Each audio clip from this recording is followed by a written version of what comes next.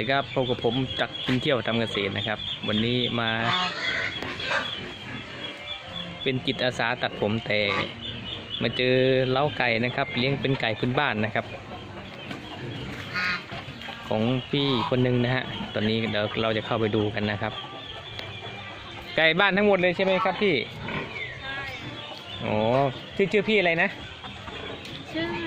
ค่ะ อันนี้คือเจ้าของนะครับพี่นฤมลนะครับสวัสดีเอ่อชื่อค่ะสวัสดีครับ ชื่อชื่อเล่นชื่ออะไรนะ มนค่ะ ชื่อมนเนาะพี่มนอ่าชื่อพี่มนแกเลี้ยงไก่ไก่พื้นบ้านนะครับ แต่ที่นี่จะมีอะไรมีหมู มีหมูมีเป็ดค่ะ มีเป็หมูดบาร์เบอรี่ผสมเป็ดเทพ มีหมูมีเป็ด แล้วก็มีไก่นะครับ ไก่พื้นบ้าน อันนี้ข้างบนก็จะเป็นเป็นตาข่ายนะครับ ตาข่ายเนี่ยครับ ตาข่ายนี่ทำแบบเป็นกรงนกเลยนะครับ อ่าคือเลี้ยงแบบระบบปิดใช่ไหมใช่ค่ะปิดคือเลี้ยงขุนอยู่ในนี้เลยนะครับเนี่ยครับพี่แกก็ขังไอ้ไอ้ไอ้ด้านนี้คืออะไรครับนี่อันนี้คือพ่อพันธุ์เขาจะไม่ถูกกันกับข้างนอกอะค่ะอ๋อขังไว้เลยต้องขังไว้ อันนี้ก็คือเป็นโซนขังไว้อีกโซนหนึ่งนะครับอ่าขังไว้เพื่อไม่ให้มันตีกันนะครับ ตีกันก็ถึงกับตายเนาะพี่เนาะใช่เพราะว่าไก่นี่ครับ เลี้ยงด้วยอะไรพี่ มีปลายข้าวค่ะ แล้วก็อ่าลอ๋อเลี้ยงปลายข้าวแล้วก็ลำเนี่ยครับก็จะมีที่บังแดดบังฝนเนาะ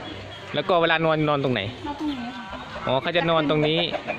อันนี้คือตรงนี้คือที่นอนนะครับ แล้วก็รังรังไข่อยู่ตรงนี้เลยใช่ค่ะที่ทำอ๋อรังไข่มีมีไข่ทุกรังไหมนี่เกือบทุกรังอ๋อเขาเลี้ยงสมบูรณ์มากนะครับ หน้าฝนยังไข่อยู่อยู่นะครับ ยังยังมีไก่ไข่อยู่นะครับนี่ครับ เขาก็เริ่มกกไข่แล้วนะครับ นี่ออกแล้วนี่พี่นี่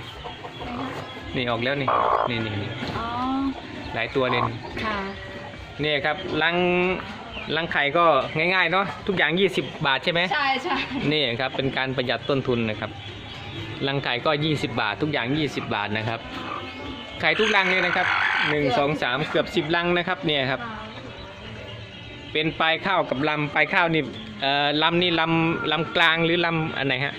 ลำลำหยาบลำหยาบเนาะลำหยาบกับปลายข้าวไปข้าวกล้องอะค่ะ ปลายข้าวกล้องด้วยโอ้ใช่กินดีนะนี่วิตามินวิตามินเยอะไปข้าวกล้องนี่จะถูกนี่ ประมาณ 550 บาทอะค่ะ550 บาทนี่กี่กิโลฮะอ่า49กิโล49กิโลก็ตกประมาณโลละ 10 บาทหน่อยๆเนาะค่ะ ถ้าถ้าเป็นปลายข้าวอ่าขาวสีขาวอะค่ะ ครับจะตกที่600กว่าบาท620อ๋อบาทใช่ครับค่ะจะลดนี่ต้นครับทุนลงหน่อยกี่เวลาพี่เวลาขุนเนี่ยสองเวลาสองเวลาเช้ากับเย็นใช่ไหมครับใช่ค่ะอ๋อช่วงเช้ากับช่วงเย็นนะครับเนี่ยครับ แกบอกเลี้ยงได้ขายทุกรุ่นใช่ไหมครับค่ะเพาะเองผสมเองแล้วก็ขายเองค่ะกำไรรอบหนึ่งเท่าไหร่สองพันรอบละสองพันนะนี่เป็นเป็นอาชีพเสริมใช่ไหมพี่ ใช่ค่ะเป็นอาชีพเสริมของพี่มนนะครับ นี่ครับ ตื่นเนาะตื่น ก็อันนี้พอมันฟักอยู่ไอ้ถ้าดูจักนี่ไม่ยากหรอกครับครับก็นี่ครับก็ผมไม่เคยคิดว่าจะมาจากไหนเนอะเออครับเราพี่ก็พี่แกก็เลี้ยงไก่นะครับ ก็อนุบาลก็เป็นเป็นแนวทางนะครับ ให้ให้พี่น้องเกษตรกรนะครับ ศึกษากันได้นะครับนี่นะครับ ก็เลี้ยงเป็นไก่บ้านเป็นอาชีพเสริมใช่ไหมพี่นี่ครับเป็นอาชีพเสริมนะครับ นี่ครับพี่แกก็ใจดีนะครับ แกก็อนุญาตให้ถ่าย เหมือนกันนะครับ การอนุบาลลูกไก่ในวงบ่อนะครับ มีไฟไหมพี่ไม่มีเนาะ ไม่มีพี่อ๋อไม่มี ไม่ต้องใช้ไม่ต้องใช้ไฟไม่มีแบบนี้ก็ประหยัดค่าไฟนะครับจะใช้เป็นเป็นอ่าถุง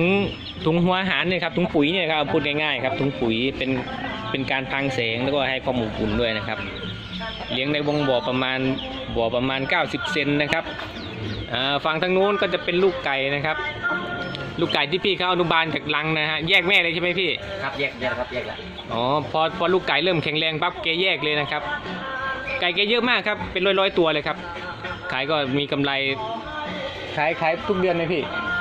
ส่วนมากช่วงช่วงนี้ยังยังไม่ค่อยได้ขายนะครับช่วงนี้อ๋อครับยังไม่ค่อยได้ขายถ้าถ้าถ้า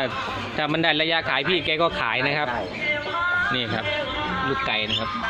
เยอะจริงครับลูกไก่ครับมันมันมันมันเข้าไปถ่ายยากเนี่ยครับให้ดูพอพอเห็นนิดนึงนะครับ เนี่ยครับ เลี้ยงด้วยปลายข้าวกับกับลำนะครับลำหยาบก็จะมีน้ำเป็นวิตามิน B12 นะครับ ช่วยในการบำรุงแล้วก็ดูแลเรื่องโรคไก่นะครับ นี่ครับแกก็มีเลี้ยงหมู เป็นอาชีพเสริมใช่ไหมพี่ ครับครับนี่ครับเป็นอาชีพเสริมนะครับ ก็มีหมูมีไก่แล้วก็มีเป็ดนะครับ แต่สำหรับเราก็มามาเจาะจงในการเลี้ยงเลี้ยงไก่นะครับสำหรับ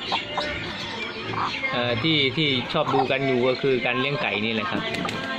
นี่ครับคอกหนึ่งเป็นสิบเลยนะครับสิบกว่าตัวได้นะครับนี่ครับ ลูกไก่แกเยอะมากครับ เปิดไม่ได้ครับไก่เขาตื่นฮะแล้วไก่เขาตื่นนี่ครับ ก็เป็นแนวทางนะครับ ให้พี่น้องเกษตรกรแกทำแบบ แบบนี้ไม่เคยเห็นนะครับ ปกติจะเลี้ยงปล่อยแต่ทีเนี้ยพี่แกทำแบบกรงนกนะครับ เหมือนแบบกรงนกนะครับ เลี้ยงแบบระบบปิดนะครับ กินอยู่ข้างในเวลาจับขายก็จะง่ายอ่าเวลาจับขายก็จะง่ายนะครับ พี่แกบอกมานะครับตรงนู้นก็จะเป็นเป็ดบาร์บารี่ใช่ไหมพี่ใช่เป็ดบาร์บารี่นะครับเป็ดบาร์บารี่แล้วก็มีห่านตัดตัดไปทางโซนนู้นเราก็จะเป็นหญ้า หญ้าหวานนะฮะหวานหญ้าหวานหญ้าหวานสับให้ไก่ใช่ไหมพี่ใช่นี่ครับสับให้ไก่ครับหญ้าหวานก็เป็ดโปรตีนสูงนะครับ เกือบ 18 ได้มั้งครับหญ้าหวานเนี่ยนี่ครับสำหรับคลิปนี้นะครับสั้น ๆนะครับพอดีมาออกหน่วยจิตอาสาตัดผมนะครับ ก็เลยเห็นเอาพี่พี่มาตัดที่ไหนตัดที่โรงเรียนตัดที่โรงเรียนไปได้นะพี่ครับครับครับก็เลยมาเห็นไก่เขานะครับ ไก่เขาทำอย่างดีเลยนะครับ ดูจาก สีหน้านะครับแดงนะครับ คือความสมบูรณ์ของไก่ก็จะประมาณนี้แหละครับ ก็เป็นคลิปสั้นๆนะครับทำให้พี่น้องเกษตรกรได้ดูกันนะครับสำหรับใครที่สนใจเลี้ยงไก่นะครับ เป็นอาชีพเสริมนะครับ พื้นที่น้อยๆนะครับ เพียงแค่ไม่กี่ตารางเมตรนะครับ ก็สามารถเลี้ยงไก่นะครับ พี่บอกพี่แกบอกว่าขายได้เป็นหลักพันเลยนะครับ หลักพันนะครับเพราะว่าแกเพาะเองขายเองนะครับนี่ครับ ดูจากวงบ่อนะครับ ถ้าในวงบ่อนะพี่แกมีอยู่หกหกบ่อนี่นี่ก็เป็นสิบเกือบร้อยแล้วครับ แล้วก็อยู่ข้างในทางฝั่งนู้นอีกนะครับ อยู่ข้างในทางฝั่งนู้นนะครับอ่าแล้วขอเข้าไปดูนิดนึงนี่ครับ ลูกไก่แกเยอะมากครับ นี่ครับ เลี้ยงเป็นอาชีพเสริม นี่ครับ ลูกไก่แกเยอะครับ นี่ครับ ก็สำหรับคลิปนี้ถ้าที่เข้ามาก็ฝากกดไลค์กดติดตามกดแชร์เลยนะครับ ของจากที่เที่ยวทางเกษตรนะครับทำจากวัสดุเหลือใช้ทั้งหมดนะครับในในเป็นพวกรังไข่หรือไม้ในการนอนนะครับนี่ครับ ก็ประมาณนี้นะครับสำหรับคลิปนี้นะครับ ก็ต้องขอบคุณพี่อะไรนะครับ ชื่อ ป๋องครับป๋องป๋องพี่ป๋องนะครับเอ่ออยู่ที่บ้านโคมะท่า บ้านโคกมะข่าอำเภอนางรองนะครับครับ สำหรับชาวบุรีรัมย์ที่เข้ามาดูช่องผมแล้วก็อยากอยากจะมาดูงานก็แวะเข้ามาดูได้นะครับ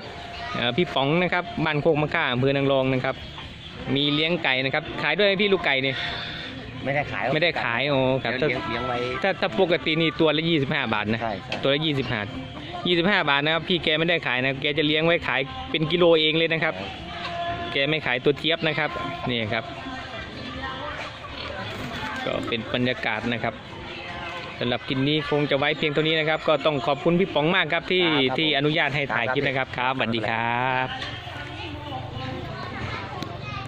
โอ้พี่เลี้ยงนานแล้วนี่กูเลี้ยงตั้งแต่ตั้งแต่รุ่นพ่อรุ่นแม่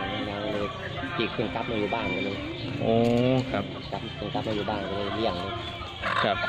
กลับมาจากโควิดใช่ไหมใช่อ๋อมานี่แหละเพิ่งมันมีโครงการเกษียณอายุก่อนกำหนดเลยก็เลยลาออกเลยครับจ้างก็ออกเลยแหละครับเออเลยออกมาเลยครับต้องหาอาชีพมาอยู่บ้านก็ต้องหาอาชีพเนาะครับพี่เรื่องไก่เรื่องเป็ดหมูปะครับ